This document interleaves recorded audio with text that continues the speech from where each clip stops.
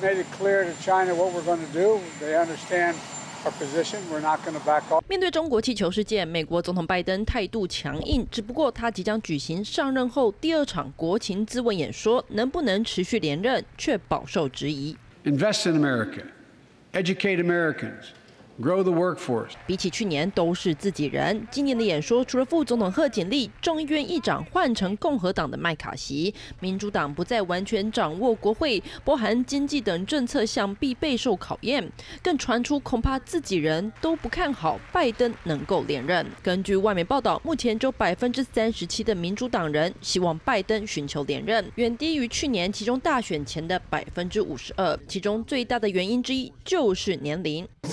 thank the the uh, former general. I keep calling him general, but my my. 现年高龄八十岁的拜登，不是演说大忘词，就是出现诡异的动作定格画面，或是讲话频咳嗽，各种老态健康状况受到关注。He's the oldest president we've had, and how does he do just in this setting? He's got to show command of this podium.